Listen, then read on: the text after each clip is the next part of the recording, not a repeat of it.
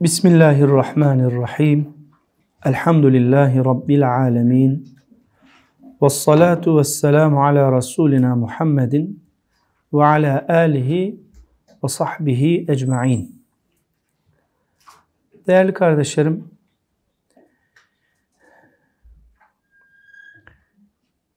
Allahü Teala kendini ve dinini tanıtacağı bir kitap gönderiyor ve bu kitap kıyamete kadar var olacak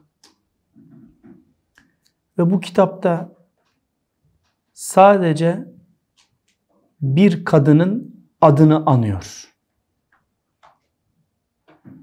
O kadına özel kitabının tam ortasında denebilecek bir yerde sure belirliyor. 114 suresinden birinin adı Kur'an-ı Kerim'in Meryem suresi. Meryem Kur'an'da adı zikredilen tek kadın. Bu bizim için başlı başına şimdi hiçbir ayet yokmuş gibi kabul edelim. Sadece elimizde bu bilgi var. Bu da Kur'an-ı Kerim'den edindiğimiz bir bilgi. 114 sureden Rabbimiz kitabını diyelim 114 bölüme ayırmış. 114 bölümden birisi Meryem bölümü.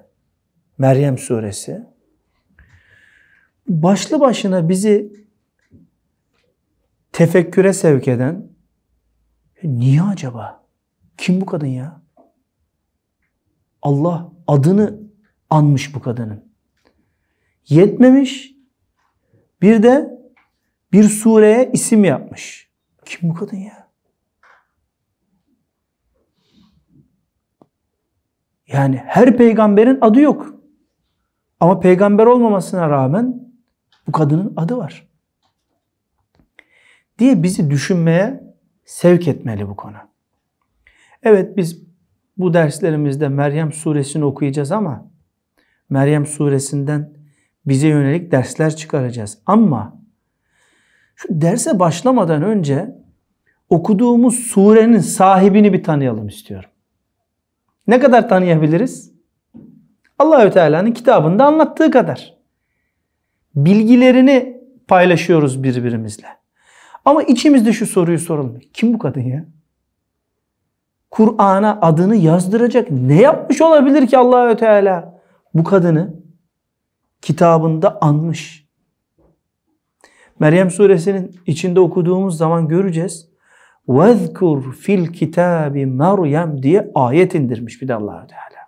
Ne demek? Bu kitapta Meryem'i an. Allah kime buyuruyor Celle Celaluhu? Başta Resulullah sallallahu aleyhi ve selleme bu o kitaba iman eden herkese. Bu kitapta Meryem'i an. İnsanı meraklandırıyor bu konu.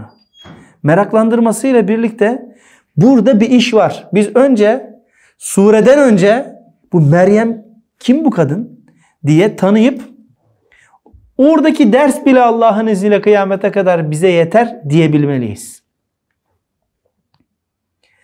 Arkadaşlar düşünsenize bu kadın Meryem isimli kadın Kur'an-ı Kerim'de annesiyle babasıyla tanıtılıyor.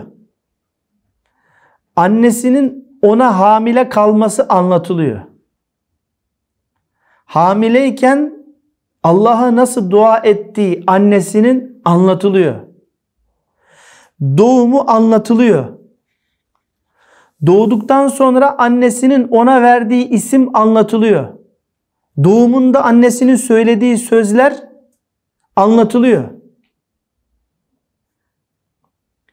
Kendisiyle ilgili Allahü Teala mucizeleri yine o kitapta anlatıyor. Doğmadan önce anlatımı başlamış bir kadın. Allah katında öyle bir yere sahip ki Allahü Teala annesini babasını da anlatıyor onu. Tersten baktığımızda annesi babası çok kaliteli insanlar olduğu için ortaya bir Meryem isimli çocuk çıktığını da söyleyebiliriz elbette. Ama Meryem'in değerine binaen annesinin babasının anlatımı söz konusu. Üstelik Meryem'in doğduğu ailenin adını Allahü Teala başka bir bölüm açmış. Alu İmran diye. İmran ailesi diye Kur'an-ı Kerim'in en uzun surelerinden biri biz Ali İmran diyoruz. Alu İmran Arapça ismiyle. Meryem'in ailesi demek. İmran'ın ailesi ama İmran kim? Meryem'in babası. Bakıldığında Meryem ortada merkezde duruyor. Yukarıda annesi ve babası söz konusu. Aşağıda oğlu var. Bunların etrafında olaylar olaylar. Allahü Teala ayrıntılarına kadar anlatıyor. Annesinin babasının düşüncelerini, yaptığı hesapları. Meryem'in doğumunu anlatıyor. Meryem'le ilgili mucizeleri anlatıyor. Meryem'in nasıl adandığını anlatıyor. Meryem için Allahü Teala'nın himaye etmek üzere ona Zekeriya Aleyhisselam'ı peygamberlerinden bir peygamberini uygun gördüğünü anlatıyor ve Meryem'i himaye etmek için o dönemdeki insanların Kur'a çekmek zorunda kaldıklarına kadar anlatıyor ayetler. Ya altı üstü bir kadın, altı üstü bir çocuk, altı üstü bir kız, bir bebek. Bunun bu kadar ayrıntılarıyla anlatılmasının mantığı ne diye insan soramadan edemiyor. Doğru cevaplar kimde? Bu soruların cevapları kimde? Allahü Teala'da. Biz bilmiyoruz. Ama ben şu sureye başlamadan önce istedim ki Meryem isimli bu kadını selam olsun ona. Çünkü Kur'an-ı Kerim İsa'nın annesine selam olsun diyor. İsa'ya selam olsun. Doğduğu güne selam olsun dediğine göre içeride surede okuyacağız inşallah. E, doğduğu gün onu doğuran anneye de selam olsun. Manası taşıyor bu. Selam olsun Meryem isimli kadına. Peygamber değil ama peygamber annesi. Peygamberlerden neredeyse daha fazla anılan bir kimliği var. Peygamber değil o kadar diyeceğimiz bir simge. O kadar ki arkadaşlar bugün Hristiyanlık alemi onun üzerinden cehenneme yuvarlanıyor. Allahü Teala bir turnusol haline getirmiş onu. Onun üzerinden yeni bir inanç başlamış. Varlığı dünyayı ikiye bölmüş. Allahü Teala'nın onun üzerinde gösterdiği mucizeler yeni bir din, insanların uyduruk bir din çıkarmasına sebep olmuş. Ve bugün dünyadaki en kalabalık din mensubu olduğunu söyleyenler işte Meryem'i kullanarak o sahte çakma dinin peşinden gidiyorlar Hristiyanlar. Yaptığı zamanında ne iş varsa birazdan ayetlerle ben inşallah bunu size sunmaya çalışacağım. Tanıyalım ayetlerle Meryem'i, bahsettiğim o süreçleri, annesinin ona hamile kalmasındaki sözlerini. Zamanında yaptığı işler kıyamete kadar var olmaya devam ediyor. Allahü Teala onu kullanıyor. Zamanında ekmiş. Hani Resulullah sallallahu aleyhi ve sellem Efendimiz buyuruyor ya. La yezalullahu yagrisu fi hâze dini garsen yesta'miluhum fi taatihi. Allah her dönemde fidanlar diker. Allah'ın fidanları vardır. Vakti geldiğinde onları kullanır. Dinine, hizmette onları kullanır. Buyuruyor ya. Meryem'i de zamanında o fidan olarak dikmiş, kıyamete kadar kullanıyor. Sadece döneminde kullanmamış, hala işte kendisinden sonra gelen ümmet olan ümmeti Muhammed'in kitabında bir sure olmuş. Allahü Teala ayrıntılarına kadar anlatıyor, tanıtıyor. İyice bilelim. Başkasının hayatını bilmeye gerek yok. Bunun hayatını bilelim diye. Allahü Teala'nın bizzat anlattığı kişilerin hayatını bilelim diye anlatıyor ve kıyamete kadar da bir grubun sapma nedeni olacak bu. Bizim iman sebebimiz oluyor. Hristiyanların da gavurlaşma, cehenneme yuvarlanma sebebi oluyor. Böyle bir ismi kıymetli kardeşlerim ayetlerle hızlıca bir tanıyalım. Sonra bir sonuca ulaşacağız ve bu anlayışımızla, ilmimizle, doluluğumuzla, bakışımızla da sureye geçeceğiz inşallah. Birinci notumuz şu. İsmi anılan, Kur'an'da ismi anılan tek kadınla ilgili, Meryem'le ilgili birinci notumuz şu. Allahü Teala ailece anıyor. Ailesine bir sure ismi veriyor. Onu tanıtırken Meryem ibnete İmran buyuruyor. Tahrim suresinin 12. ayetinde. O İmran'ın kızını da hatırla. Allah örnek verdi onu diye. Babası, annesi bir sureye isim oluyor. Kendisi bir sureye isim oluyor. Kendisi ve oğlu ayrı bir mucize. Toplamı İmran ailesi Allahü Teala onları en zor zamandaki gösterdikleri performanstan Allah bilir ya seçiyor ve Ali İmran suresinin 33. ayetini onların ailesine ayırıyor. İnna Allah istafa Adem'e ve Nuhan ve ale İbrahim'e ve ale İmran'e alel alemin. Allah Adem'i, Nuh'u iki insan olarak seçti. insanlığın devamı olarak. Bir de iki aileyi seçti. O iki ailenin birincisi İbrahim ailesi, Yakup ve Yakup'un çocuklarından ve İsmail Aleyhisselam'ın soyundan, İshak, İsmail'in soyundan peygamberler getirdi. Bir de İmran ailesini seçti. Onun soyundan peygamberler gönderdi. Allah özel seçmiş bu aileyi. Niye seçti acaba sorusunu Allah biliyor. Ama bizim bildiğimiz ne var? Annesi de babası da Meryem'in Allah'ın salih kullarından. Davud Aleyhisselam'ın neslinden ve İsrailoğullarının en iyilerinden. Buna dair bilgimiz var içim, içim, elimizde. Zor zamanda İsrailoğullarının Allah'tan kopup onun dinini, Zebur'u, Tevrat'ı bozup kafalarına göre layık bir hayat yaşadıkları dönemde samimi bir Müslüman, müvahhid, mümin olarak kaldıkları için Allah bilir ya belki de onları o yüzden lütuflandırdı. Aile olarak onları Kur'an'a kaydetti sure ismiyle beraber.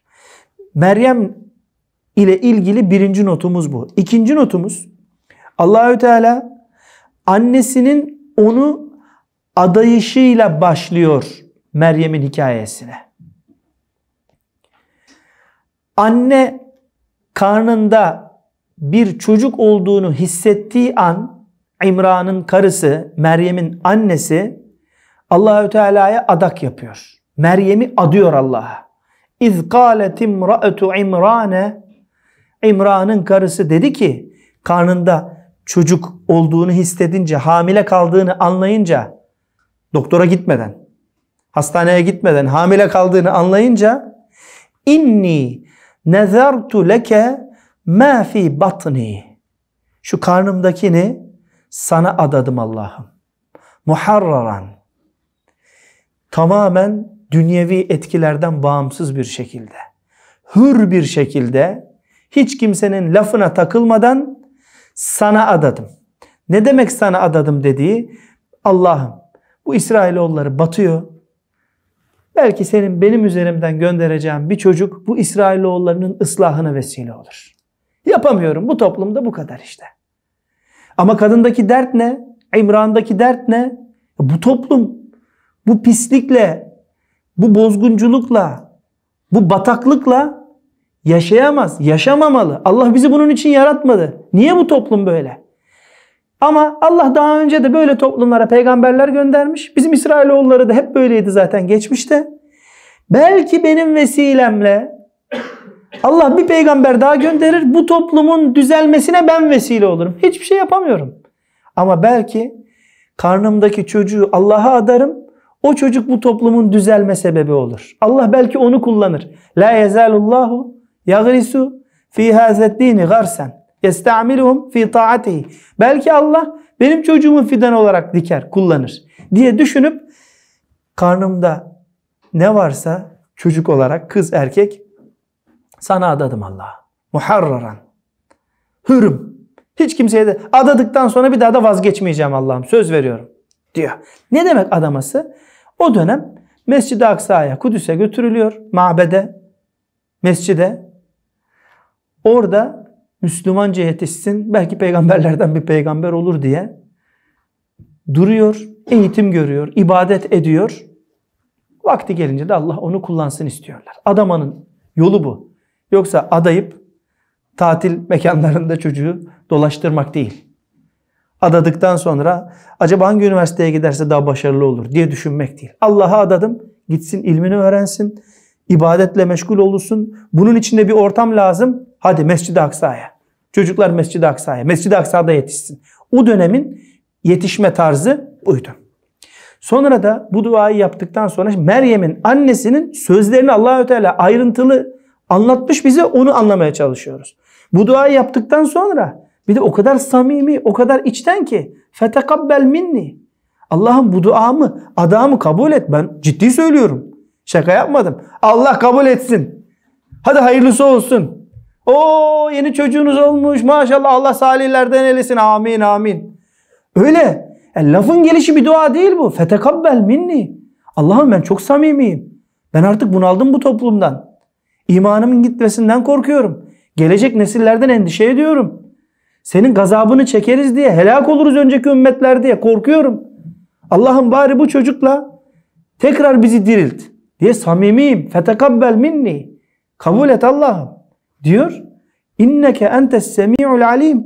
Sen benim dualarımı çok iyi işitirsin. Benim ne istediğimi de çok iyi bilirsin Allah'ım diye de ekliyor sonra. Yani olur ya ben anne olarak ne istediğimi de adamı da dile getiremeyebilirim. Getirememiş olabilirim. Ama kalbimden geçen duyguları sen çok iyi biliyorsun. İnneke entes semi'ul alim. Çok iyi biliyorsun Allah'ım sen içimden geçenleri. Sesimi de duydun Allah'ım. Deyip kapatmış konuyu. Bu da ikinci bölümdü. Meryem'le ilgili ailesinin anılışı. iki annesinin ona gebe kaldığında nasıl onu adamak için heyecanla Allah'a elini açtığını. Ayrıntılı bir şekilde Meryem'in doğumundan öncesini Allahü Teala anlatıyor. Üçüncü noktaya geldik. Allahü Teala onu doğuran annenin doğurduğu andaki cümlelerini de bize aktarıyor. Felemma vada'atha Çocuk doğdu bir baktı Kalet dedi ki Rabbi Rabbim inni vada'tuha unsa ben kız doğurdum. Ama biz biliyoruz ki toplumu değiştirecek önderler genelde erkeklerden oluyor. E ne olacak şimdi? Yani ben adamı yapmıştım. Erkek istiyordum. Toplumu düzeltse düzeltse erkek düzeltir. Ama bu kız oldu. Vallahu a'lemu bima vada'at. Tabi Allah onun ne doğurduğunu biliyor ama kendi de biliyor ama Allah'ım ne olacak şimdi diye bir endişe taşımış. Acaba adak tutmadı mı? Dert o tabi. Dert o. Sonra da demiş ki veleyse zekeru kel unsa. Erkekle kadın aynı değil. Şimdi benim adağımda bir erkek olacak. Mescid-i Aksa'ya adayacağım. Orada o kişi zamanla peygamberlerden Zekeriya aleyhisselam gibi peygamber olacak. Ve Allah onu seçecek. Hadi çık İsrailoğullarına ve onların düzenmesi için uğraş diyecek. Ve adak gerçekleşmiş olacaktı. Kız olunca veleyse zekeru kel unsa kız bunu yapamaz ki. Erkek dediğin güçlü, toplumun içine çıkar, konuşur. Ama kızdan bu beklenemez. Bu erkek fıtratındaki, peygamberlerin fıtratındaki hal bir kızda oluşmaz diye endişelenmiş. Ama pes etmemiş. Devamında Allahü Teala buyuruyor ki sözleri devam ediyor Meryem'in annesinin. Ben yine de ve inni semmeytuha Meryem. Ben onun adını Meryem olarak koydum demiş. Meryem ne demek? Adammış kadın. Yani yine adamdan vazgeçmediğini, adamdan vazgeçmediğimi Rabbim görsün istiyor. İsmiyle de bunu tescilliyor. O kadar samimi söylemiş ki annesinin koyduğu isim Allah'ın koyduğu isim olmuş. Allah annesinin koyduğu ismi de kabul etmiş. Biz çocuklarımıza kendimiz isim veriyoruz. Çocuklarımız gerçekten öyle mi değil mi bilmiyoruz. Öyle olsunlar diye veriyoruz ama annesi öyle olsun, Meryem olsun, adansın Allah'a bu diye vermiş. Allah da adağını ismiyle kabul etmiş. Mesela Yahya'ya o ismi biz ver ki biz verdik diyor. İnşallah sureye başladığımızda okuyacağız. Daha önce hiç kimseye vermediğimiz ismi Zekeriya'nın oğluna müjdeledik. İnna nubeşşiruke bi gulam ismuhu Yahya lem nec'al lehu min kablu semiyya. Daha önce hiç kimseye vermediğimiz bir ismi Yahya'ya verdik. Zekeriya'nın oğluna verdik diye bizzat biz verdik buyuruyor Allah. Celle Celaluhu. Ama Meryem'in adını annesi verdi ve Allah kabul etti. Demek ki Meryem'in arkasında Meryem gibi de bir anne çıkıyor ortaya. Birazdan sonuca geldiğimizde zaten annesinin ve babasının bir çocuk üzerindeki etkisini Allah'ın onu kabul edişini de görmüş olacağız. Duadan sonra da adını verdikten sonra da çok enteresan bir dua etmiş hususi. Şimdi adadı ya ismiyle de adadığını gösterdi. Allah'ım ben adadığım için onu bütün şeytanların kovulmuş o fitnecilerin şerrinden sana sığındırıyorum diye de eklemiş. Ve inni u'izuha bike ve zürriyeteha onun nesillerinde Meryem'i de Meryem'in çocuklarını da ne kadar nesli varsa mineşşeytanirracim o pis lanetli şeytanın şerrinden sana sığındırıyorum Allah'ım. Sana bırakıyorum. Bunları sen koru. Şeytan buna yanaşamasın diye de hususi dua etmiş. Efendimiz sallallahu aleyhi ve sellem buyuruyor ki Bukhari'de, Müslim'de geçen hadis-i şerifte Meryem'in annesinin bu duasından dolayı Allah doğduğunda sadece şeytan normalde her doğan çocuğun boğazını sıkar buyuruyor Efendimiz. Biz onu görmüyoruz. Allah biliyor bunu. Efendimiz bunu bildiriyor. Her doğan çocuğun dünyaya geldiğinde boğazını sıkar. Sadece o duasından dolayı İsa'ya yanaşamadı. Allah sıktırmadı boğazını diyor. Annenin yaptığı duayı Allahü Teala nasıl kabul ettiğini anlatıyor. Dedik ki arkada Meryem gibi bir anne de var aynı zamanda. Tabi nasıl bu noktaya taşıdı, bu mucizevi bir hale getirdi. O küçücük çocuğu, doğmuş çocuğu, sonra da onun oğlu olan İsa'yı bunlar birazdan gerçekleşecek bilgilerle biraz daha aydınlanacak. Ve dördüncü olarak kıymetli arkadaşlar Allahü Teala'nın bu duayı kabul ettiğini bizzat ayetlerle öğreniyoruz. Rabbimiz Ali İmran suresinin 30 100 e, Ali İmran suresinin 37. ayetinde buyuruyor ki bu işte Meryem'in annesinin duaları gerçekleşti. ismini Meryem koydum. Böyle oldu ya Rabbi ama sen kabul et ya Rabbi dedi. Allahü Teala buyuruyor ki fetekabbelaha rabbuha bi kabulin hasenin. Allah Meryem'in annesinin duasını Meryem'in o halini annesinin istediği halini en güzel şekilde kabul etti. Çok güzel bir şekilde kabul etti. Ve enbeteha nebaten hasena sonra da Allah onun büyütülmesini bizzat kendisi üstlendi. Onu Allah e, büyüttü diyor ayette. Meryem'i Allah büyüttü. Duayı o kadar samimi buldu ki Meryem'i Allah büyüttü. Ve keffeleha Zekeriya Zekeriya aleyhisselamı da onun himayesine verdi. Onunla özel ilgilensin diye. Ve Zekeriya aleyhisselamın onunla buluşması için özel bir Kur'a çektirdi allah Teala. Çünkü İmran'ı toplum tanıyor. İmran'ın kaliteli bir adam olduğunu, Allah dostlarından bir dost olduğunu toplum bildiği için İmran'ın çocuğuna, bu Meryem'e biz bakalım mabede adanmış. Böyle bir kızın sorumluluğunu yüklenmek bizde olsun. Bu şeref bize ait olsun diye herkes yüklenince kim bu çocukla ilgilen? Çünkü annesi getirdi mabede adadı. Büyüdükten sonra, sütten kesildikten sonra. Mabede adadı. E şimdi bu çocukla kim ilgilenecek? Böyle bir çocukla ilgilenmek büyük bir iş. Çünkü toplum biliyor onun ileride bir şeyler olacağını. Böyle bir inancı var toplumun. 20 kişi 30 kişi sıraya girmişler. Kur'a çekmek zorunda kalmışlar. Allahü Teala yine Ali İmran suresinde ve ma kunte ledeyhim iz yulquna eyyuhum yekfulu Meryem ve ma kunte ledeyhim iz yahtasimun onlar tartışıyorlardı. Meryem'i kim büyütecek? Hadi kura çekelim. Başka türlü olmaz. Kura için hadi kalemleri atalım. Kimin kalemi suyun üstünde kalırsa o Meryem'i üstlensin diye Kur'a çektiğinde ey peygamber sen orada yoktun diye Allahü Teala Efendimiz'e bile hususi anlatıyor bu olayı. Yani Meryem'in sorumluluğunu yüklenmek için insanların nasıl çabaladığını Birbirleriyle neredeyse kavga edecekler. Artık Kur'a ile rahatlıyorlar. Bu halini sen bir görseydin ey peygamber diye Efendimiz Aleyhisselam'a Ali İmran suresinin 43. E, ayetinde 44. E, ayetinde özel bilgi vermiş. Yani Meryem böyle bir kadın. Siz iyi tanıyın. Bu en başta Efendimiz Aleyhisselam'a buyuruyor. Ve onun ashabını anlatıyor. Ve en sonunda Zekeriya Aleyhisselam işte onu himaye ediyor. Allahü Teala daha genç kızken 5. maddeye geldik. Nasıl bir kadın Meryem onu çözmeye çalışıyoruz. Daha genç kızken mucizeler gönderiyor. Yine Ali İmran suresinin 37. ayetinden öğreniyoruz ki Zekeriya aleyhisselam şimdi sorumluluğunu eğitimini yüklendi ya. Her seferinde onun yanına giriyor. Kullama dehale aleyha Zekeriya'l mihrabe mihrapta, mabette, Mescid-i Aksa'da Meryem var. Zekeriya onun yanına her girdiğinde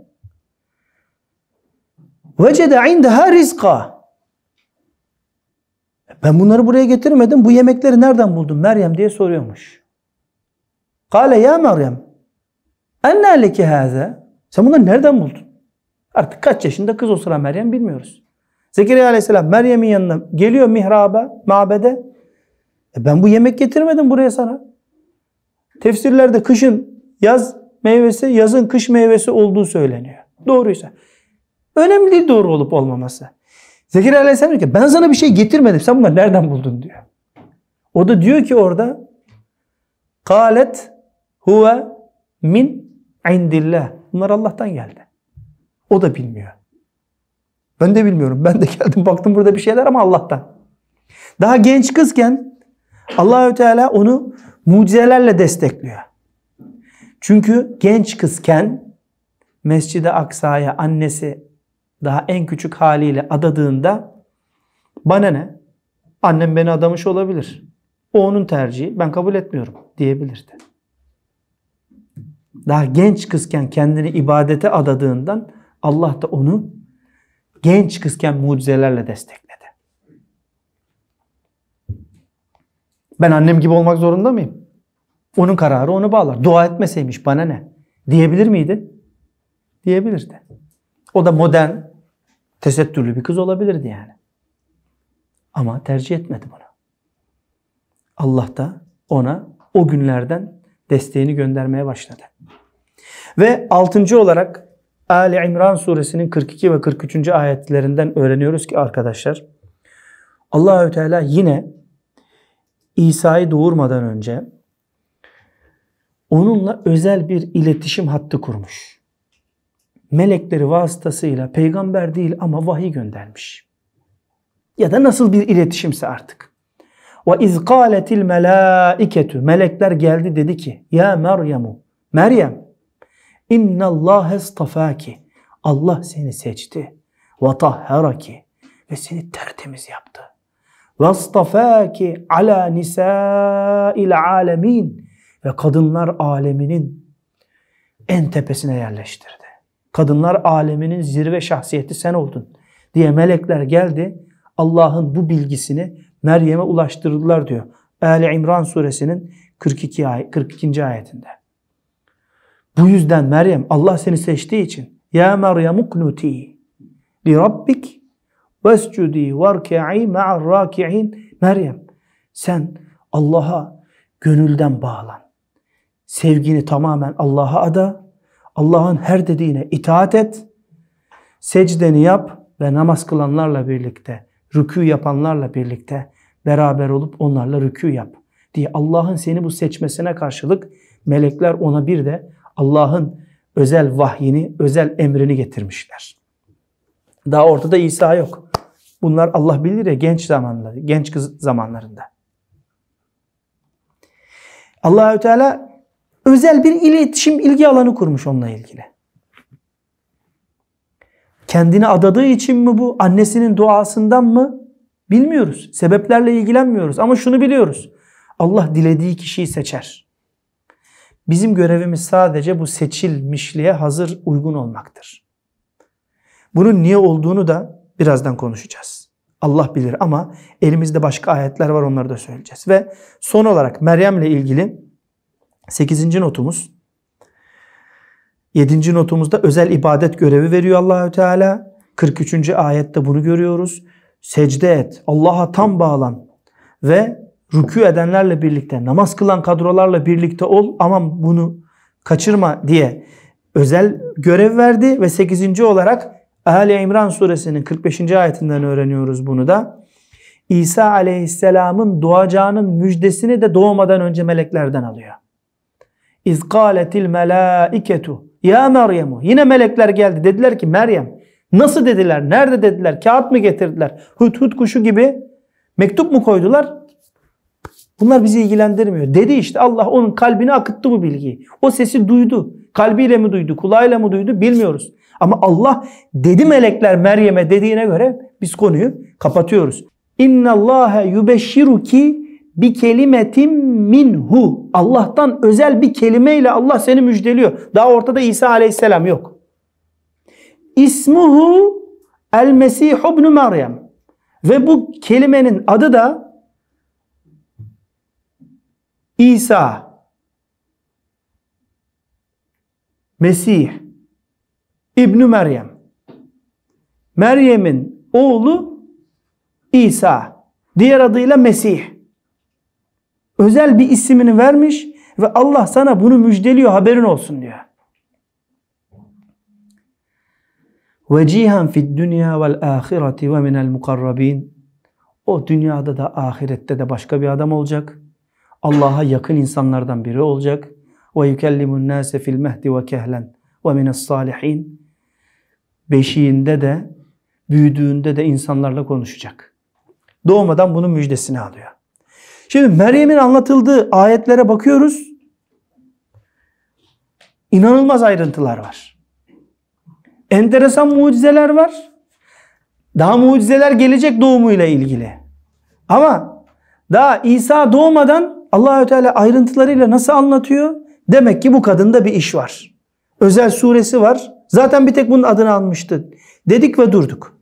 Ve şimdi soruyoruz. Diyoruz ki ne olmuş olabilir de Allah Meryem'i seçmiştir? Annesiyle babasıyla ilgili bölüm onunla zaten alakalı değil.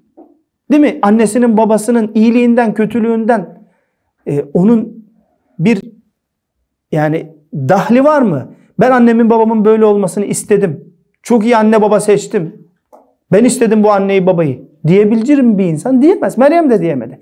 Ama kendisiyle ilgili bilgiler var. Kendisiyle ilgili bilgiler bize ipucu veriyor. Gerçeği Allah biliyor. Ama şu Tahrim suresinin 12. ayeti birçok şeyi özetliyor. Allahü Teala Tahrim suresinin 11. ayetinde Allah müminlere Firavun'un karısını ve Meryem'i, İmran'ın kızı Meryem'i örnek verdi diye iki ayet zikrediyor.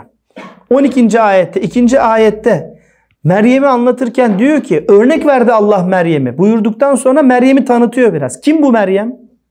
İpuçlarını topluyoruz şimdi. Ve Meryem ebnete İmran iki nokta üst üste İmran'ın kızı Meryem ehsanet ferceha birinci ipucu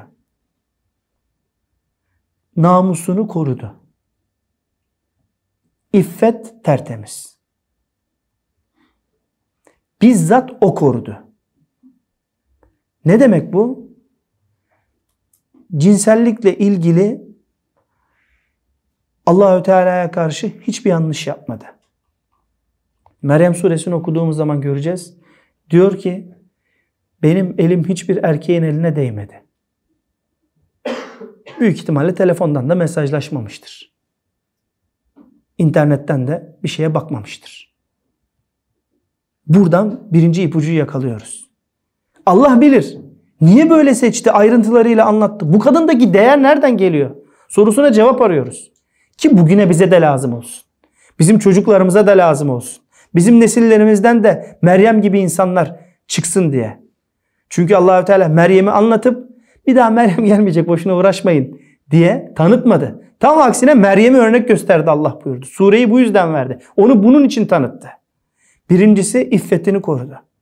Erkekse kadına karşı çok dikkatli, kadınsa erkeğe karşı çok dikkatli. Bir el ona değmedi.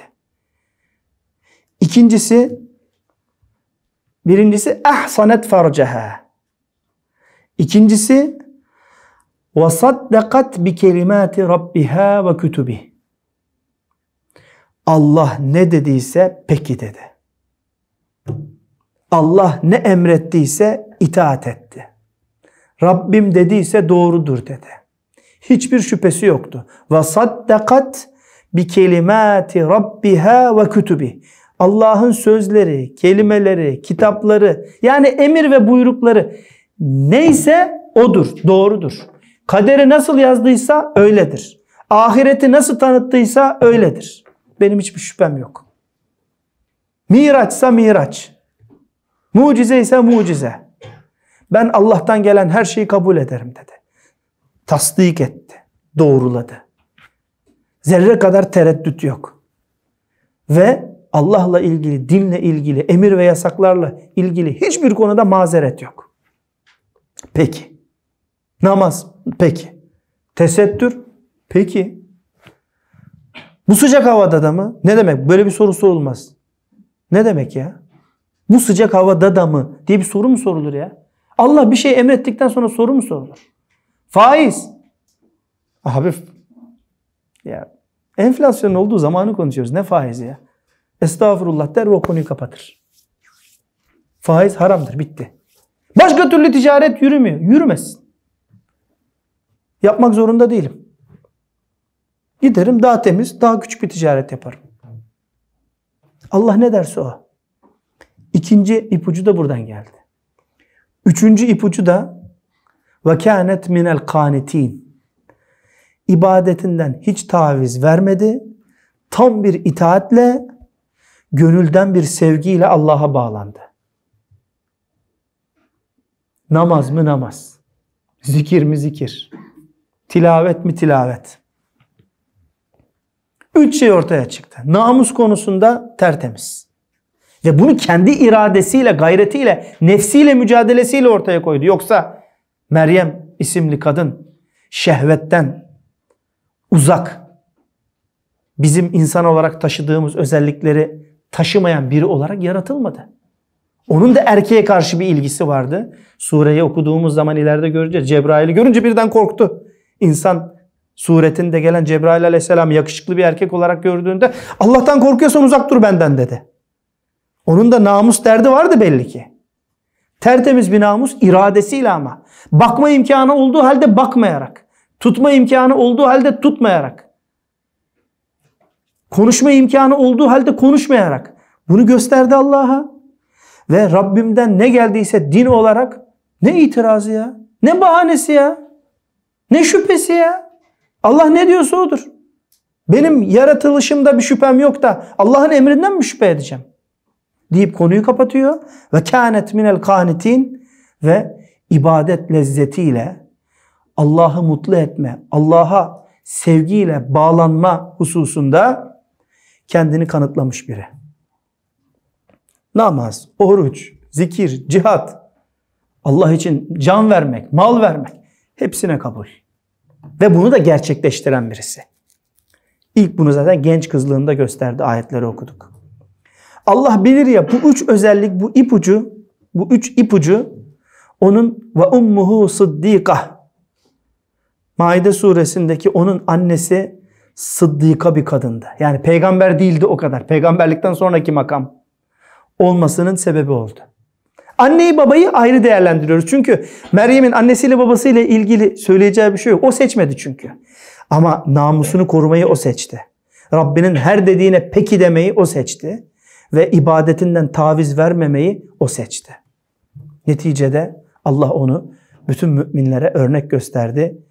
Kur'an'da bir sure haline getirdi. Bir tek onun adını andı. Bu yüzden Resulullah sallallahu aleyhi ve sellem Efendimiz Bukhari Müslim'deki bir hadis-i şerifte erkeklerden çok üst makamlara gelmiş, Allah'a çok yakınlaşmış çok kişi vardır ama kadınlardan bir Firavun'un karısı Asiye vardır. Bir de Meryem vardır buyuruyor. Bunlar zamanının en değerli kadınlarıdır buyuruyor. Sonra da kendi hanımı olan Hatice annemizi zikrediyor. Bir sonraki rivayette de Fatıma annemizi ekliyor ana. Ama Hatice annemizden önce Meryem vardı. Meryem'den önce de Firavun'un karısı vardı. İşte bu kadını suresiyle beraber okuyup kendimize dersler çıkaracağız. Örnek alacağız onu. Çünkü Allah örnek gösterdi. Tahrim suresinin 12. ayetinde. Rabbimizin gösterdiği örnek karşısında peki deyip teslim olup biz de onun gibi olacağız ya Rabbi söz veriyoruz demekten başka çaremiz yok. Böyle olduğu için o kadına İsa gibi bir mucizeyi nasip etti Allah. İsa'nın üzerinden de yeni bir din, yeni bir kitap gönderdi. Hepsinin merkezinde bu kadın var işte. Bu kadını anlayıp mümince bir duruş yakalamak hepimize nasip olsun. Müyesser olsun. Velhamdülillahi Rabbil Alemin.